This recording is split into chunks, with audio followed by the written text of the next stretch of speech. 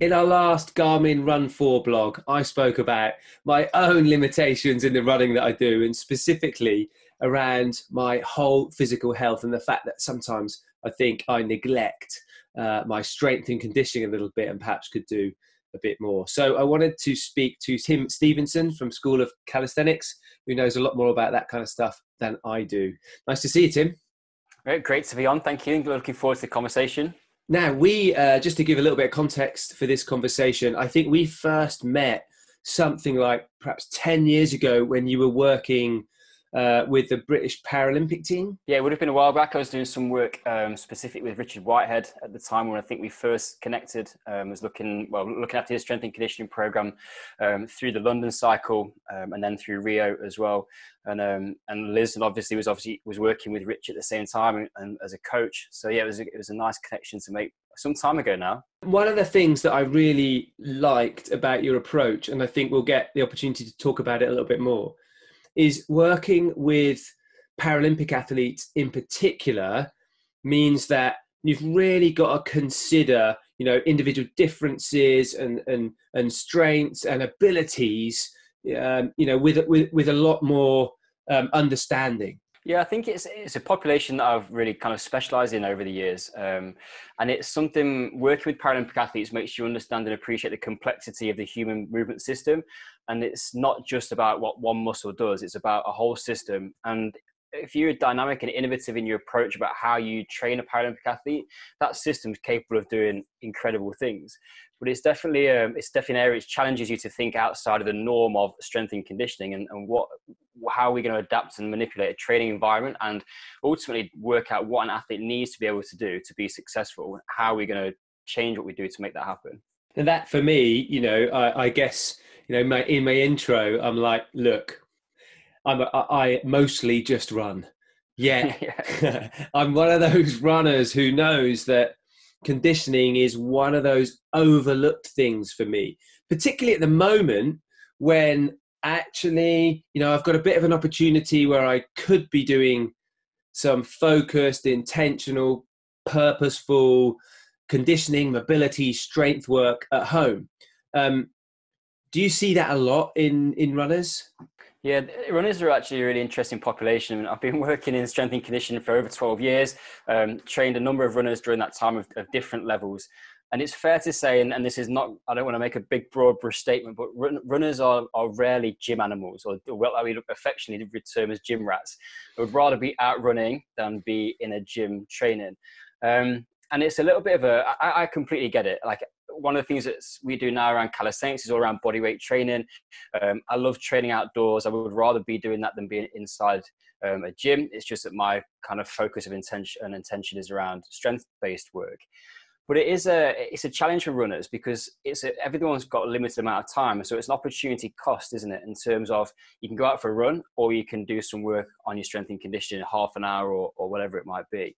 Um, and I think it's so many people get away with running to a level without needing to do strength and conditioning work or not feeling like it's, it's as, as important as getting out for a run. Let, us think about um, that at the moment. You know, just in the current situation, we've got a focused amount of time perhaps that we can exercise. And so for me, you know, I'm, I'm, I'm heading out for a run because it's my preferred, my preferred thing to be doing. Yet we see a lot of, I'm quite heavily exposed particularly in, in social, to look at things that say, well, do this workout, you know, try that workout, do this particular strength or conditioning work, you know, kind of, and I'm a bit lost. Um, so yeah. I, I think, firstly, like, why calisthenics? What is calisthenics? Why calisthenics? Why is it good for now? Why is it good for runners? Yeah, it's interesting, isn't it? The um, the current situation that we're in is um, everyone's a home training expert now, aren't they? And there's a lot of stuff which you can get bogged down in. Um, so to answer the question, calisthenics comes from two Greek words, kalos and sthenos, means beauty and strength. And effectively, what we're talking about is body weight training oftentimes people will think about bodyweight training as being for beginners. So you think about push ups and, and pull ups, but it goes a lot further than that. We would include things like handstands, muscle ups, pistol squats for the lower body, anything really where we are starting to just move the body in different ways and learn to move in new ways.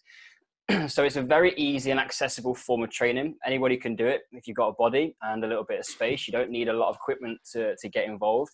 Um, and the really interesting, and I think from a sports performance perspective, is where we, we at the School of Calisthenics do quite a bit of our, our work these days, is around, as I mentioned before about with the Paralympic athletes, it respects the human movement system. It respects the body as it is designed, um, rather than breaking it down and go, this is a bicep, and therefore I'm going to do a bicep curl if you want to go and do a handstand or a pistol squat or, or, any of the movements that we could look at in calisthenics, right through to a human flag, right? There's some pretty gravity defying, iconic stuff that, that, comes into the mix.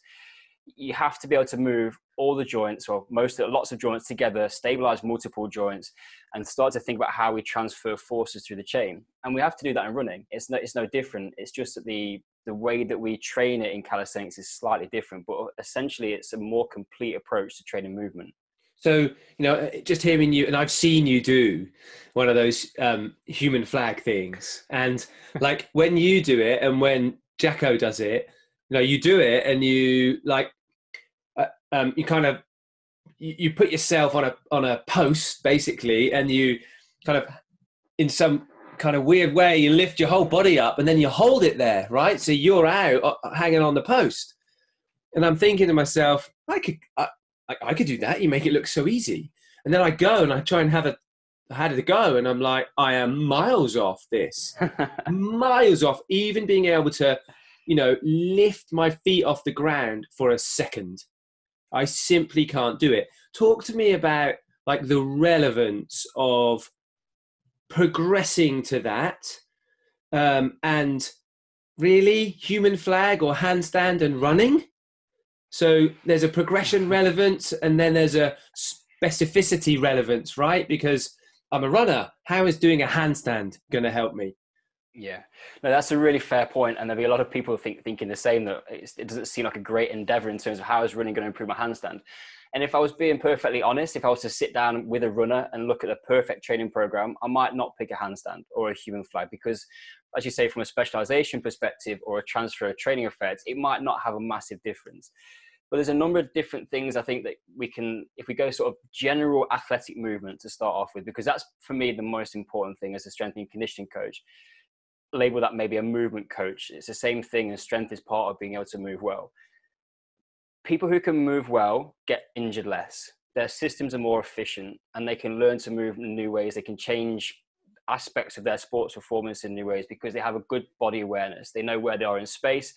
If you ask them to do something, they'll pick it up quite quickly. These are the sort of the athletic types um, that we would have we would often see people who are good at a number of different things. Wind that all the way back to what we should be able to do as humans. We should have a full range of movement squat, feet facing forward, and that would be a contentious point for some people. But let's say, argue for argument's sake, we want feet straight, face straight, and facing straight forwards. We should be able to sit on our heels. That's how people have sat around campfires and gone to the toilet for many, many years. Um, but it's a, it's a, it's an ability which we've lost. And if you can do that and you can spend 10, 15, 20 minutes sat in a deep squat position, we know that we've got good range of movement around the joints. We know we've got a certain level of stability around the joints and we've got some level of structural integrity. The body can do something which is a very basic pattern.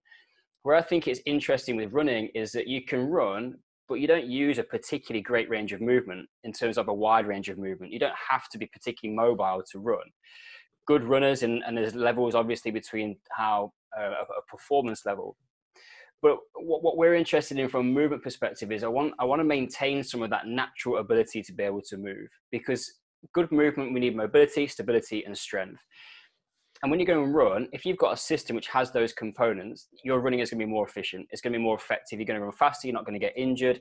We might be able to then get more adaptation out of certain training phases that we're going to go and work on, um, particularly. And what calisthenics is going to bring to this is you have to respect mobility, stability, and strength. So if we take something which is more transferable, we take, let's say, we are our basic bodyweight calisthenics movements for um, for the lower body, where most runners will probably go to, might be something like a pistol squat. So it's, a single leg squat all the way down, so backside to the ground, pretty much, and one leg sits out in front, and you stand back up. Um, some people go, "Oh, it's bad for your knees." if you've got range of movement, stability, and strength, you can do it. It's not bad for your knees. Um, it would be bad for your knees if you try and do it with 100 kilos on your back potentially, but it, that's not the way that it's designed to be done. We might have things like um, a shrimp squat, but well, even the basics of bodyweight squats, lunges in different patterns and mm-hmm. planes. Mm-hmm. So if we start getting better at those positions, we build some strength through these ranges. They the, the, the pistol squat's a good example. You can work backwards and forwards, sagittal plane. It's in the same movement which we're going to run in, and it's going to help us to control essentially the, the knee position. Move up the body a little bit. We start to also think about the importance of let's call it pillar. Core stability makes people think about crunches, and it's a bit of a misleading term. But if you think that your body needs a pillar of strength, from basically around musculature which supports the spine and the pelvis. That's going to be our major stabilizing structures. And all the muscles which attach into that are actually defined as part of the core. So even some of the shoulder musculature is, co- is core musculature. If we can keep that spine stable and the pelvis stable, it means we can be more efficient with how we produce force and transfer forces through the system, and therefore our running performance is going to improve. And that's where things like the handstand come in you can't do a handstand unless you've got good range of movement and you can link that stability from the shoulder through to the pelvis the legs aren't doing a huge amount that's fine runners need rest days as well so it can be something you might not do on a training day um, but we have to you can't hide from it and, and, and what we know about from a running performance for general speaking and, and it's different if you go and watch the london marathon sometimes and when i talk about posture and optimal mechanics but for most people, we spend a lot of time hunched over in front of computers and in cars. And when I run, this is not a great posture for mm-hmm. me. I want to be able to get the shoulders back. I should have full range of movement overhead. Um, because as soon as you get dysfunction in the system anywhere, you're going to start a cascade of, of compensatory movements. Shoulder gets jacked up, all of a sudden we've got ankle pain because that, we, we are talking about one big piece of muscle, all connected by fascia and connective tissue, rather than a calf is sore, let's fix the calf the calf could be sore because your shoulder's jacked up. And what calisthenics is going to do is force you to take a systems level approach. And um, my last point, and we're going to like get a, get a word in edgeways and ask another question, it's just around um, the focus on a tangible goal. If I said to you, go do some hmm. stretching work or do some strength work because it's good for you running, you might kind of go, oh, do you know what? I'd rather go for a run. But if I set you a challenge of going and do five pistol squats back to back on each leg, that now gives you a tangible outcome and a reason to actually start thinking about the progressions that I might need to work on, improving calf or, or ankle dorsiflexion, improving um, range of movement of ankles, stabilizing the knee, getting the hips a little bit stronger. Those things come kind of part and parcel of a tangible outcome that actually is interesting to you rather than do some stretching. I think because actually all... as well, you know, like at the moment, I don't think I can do two pistol squats. Seriously, you know, but yeah. I would go I would go for a run, you know, with reasonable frequency. But pistol squat, eh, you know, probably probably couldn't. Handstand, I'd have a go, but I don't expect it would be especially um, effective. Might be fun yeah. to watch. um, you know, there's there's a few kind of things to to think about around. So so one of my obstacles is I'll claim there's no time for for for me to do it. Like so if I'm thinking, I, you know what, I could give that a go. Like, what's the, how do I get the most return for the calisthenics that I might attempt first? Yeah.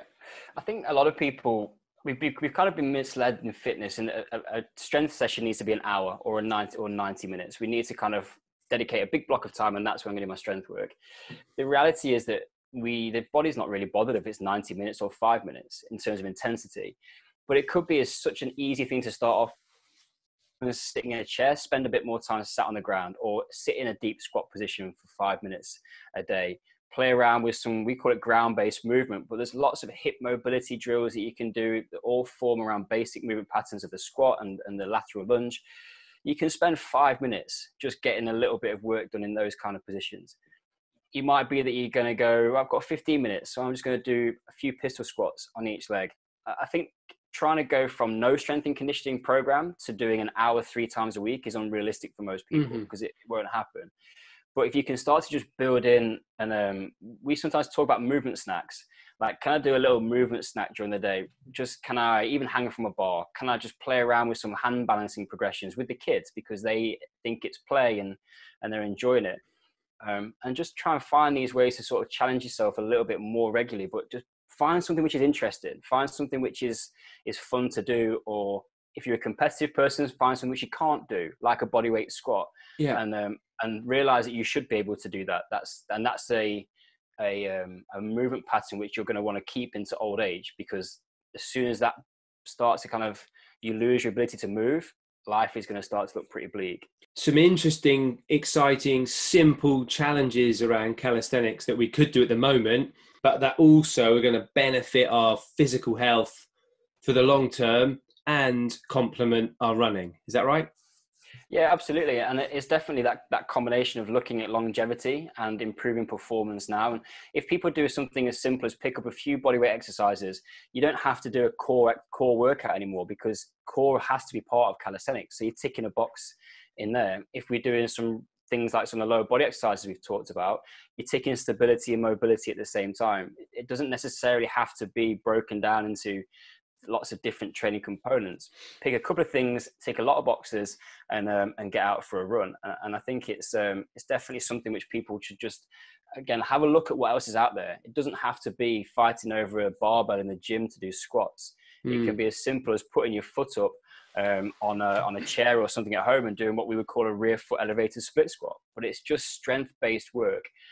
And, and what I would hope people would, would sort of might be interesting. People like bother about getting injured until they're injured. Then it's the worst thing in the world when they can't run.